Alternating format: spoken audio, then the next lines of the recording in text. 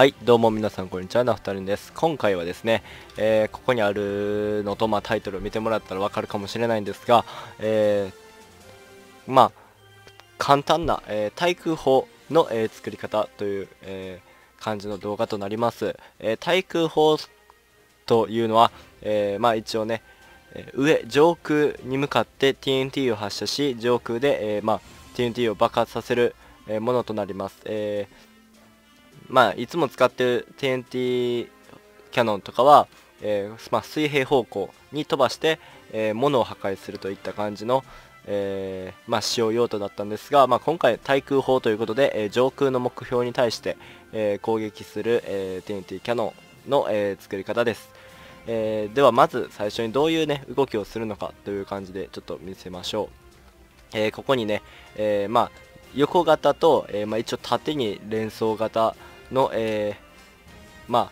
2つのパターンを用意しました。えー、基本となるのはこちらの、えー、この 4×11 のスペースでできる、えー、ものとなります。では、早速押してみます。ポチはい、えー、ちょっとね、威力が強すぎるのもあって、いや、威力が強すぎるというか、えー、弾が速すぎるのもあって、結構もうね、こう見えないぐらい、え、下手したら動画では映ってないかもしれないんですが、え、少しね、え、まあ、見えるようにしてみましょう。はい。これで多分、まあ、一応見えると思います。はい。えー、といった感じで、え上空にね、え TNT を、えばらまくことができます。はい。こういった感じですね。はい。でえっとねまたこのね、え飛ばすえまあえー、リピーターの遅延をいじることによって、まあ、飛ばす角度とかを、えー、少し変えることができます。角度角度っていうか距離かな、えー、遅延をちょっと速くすると、え結構手前側で、え爆発したり、えまあ、そこまで飛距離がね、え出ない感じなんですが、えまあ、今これが、え一応最低の最低の場合ですね。はい。ですが、まあ、一応飛ぶ状況、えまあ、一番距離が出る状況にすると、えー、もう一番最初にお見せした通り、えー、まあ、描写がねもうほぼ早すぎて見えへんっていう状態になります。はい。おびっくりした。あちょっとしゃしゃしゃべってはる。放置ボイスが。仕方ないわ。そうだ。金剛たちのルームにでも行ってみましょうか。はい。で、えー、こっちが、えー、これをね、えー、2つ、えー、くっつけたバージョンとなりますえー、こちらも打ってみましょう。はい。といった感じで、えー、これも一応ね遅延が、えー、マックスになっているので一番、え距離が出る、えタイミングとなってます。はい。こういった感じで。全然ちょっとね、えマックスにしてしまうと球が、え映ってない映らないのでちょっとあれなんですけどちょっとじゃあ控えて。といった感じで、えー、まあ、束が飛びます。えー、何個の TNT が飛ぶのかと言いますと、えー、こちらだけで、えーと、ディスペンサーが、えー、合計で、えー、20個かな、えー、ここ12345678910 11121314151617181920個あるので、えー、20個が、えー、2台になっているので、まあ、計40個の TNT が えーまあ、計40個のディスペンサーがあります。で、えー、ボタンを押すことによって、えー、全てのディスペンサーから40個、えーあまあ、合計で40個の、えー、TNT が出ます、はい、今ここに40個 TNT が出ました。そして、えー、あるタイミングで、えー、さらに40個の TNT が出るので、えー、策略用の TNT が40個で、えーまあ、飛んでいく方弾頭用の TNT の方も、えー、一応40個と、えー、なります。え今回はねこちらの型の作り方を、え紹介していきたいなと思います、えまずですね、えスペースとして、え先ほども言った通り、え 1234×123456789101 4×11 の、えスペースが必要となります。はい。4×11 のスペースが必要です、えー、そうしましたらちょっとじゃあ色を分けようかな、えー、ここにね、えーわ、わ、わ、輪っかじゃない、円になるように、え円というか四角になるように、えー、こういう感じで、えー、まあ、ブロックを置いてください。えそうしたら、え今置いたこの、え赤い羊毛の上に、えディスペンサーの方を、えぐるっと一周回るように設置していきます。よ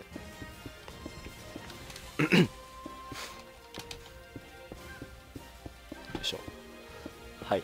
えー、もうね、えー、ディスペンサーが設置できればもうほぼ完成したようなもんなんですが、えー、そうしましたら次にこの角をね埋めるために、えまあブロックで、えつなげてください。はい。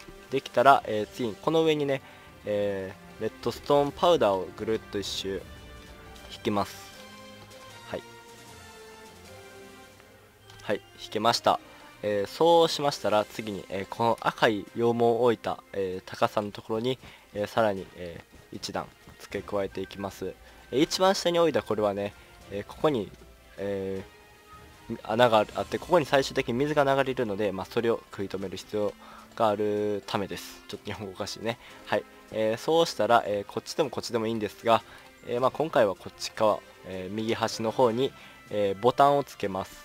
木のボタンでも多分いけると思いますが、まあ、確認はしてないので、え、すいません。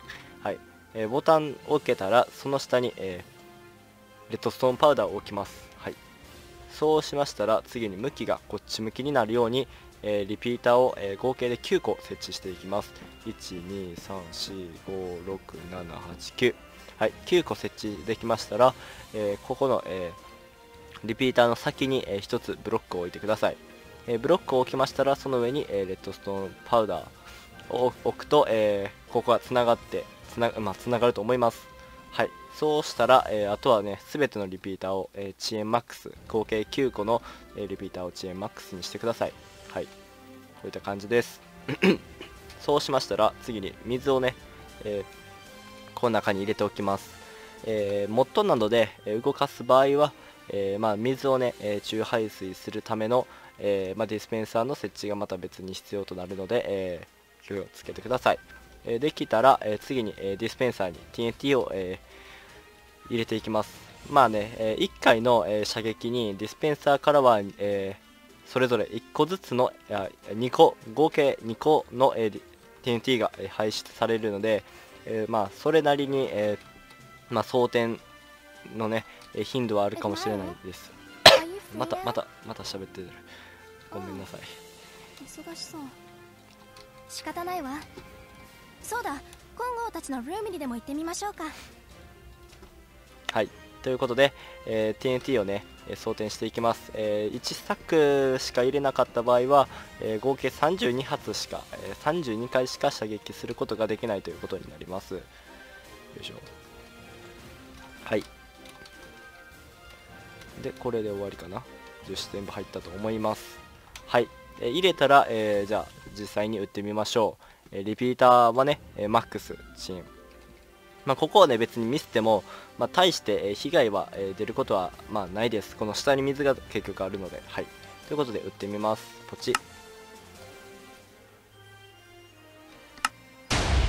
はい。という感じで、えー、無事射撃することができました、えー、ここのねリピーターもしねミスってしまってわこんなにしちゃった。